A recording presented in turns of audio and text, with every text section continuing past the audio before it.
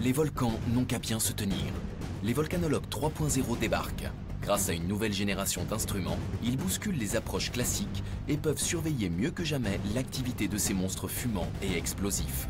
Ce qui est là innovant, c'est de faire des photos stéréoscopiques à haute résolution et puis on a le couplage avec la caméra thermique. Si un nouveau dôme de lave croît au sommet, on verra le déplacement et puis on verra aussi la température de surface. Drone, caméra thermique, modélisation 3D. Serons-nous mieux protégés des colères imprévisibles des volcans? Les Volcanologues 3.0, mercredi à 20h45 sur Science et TV.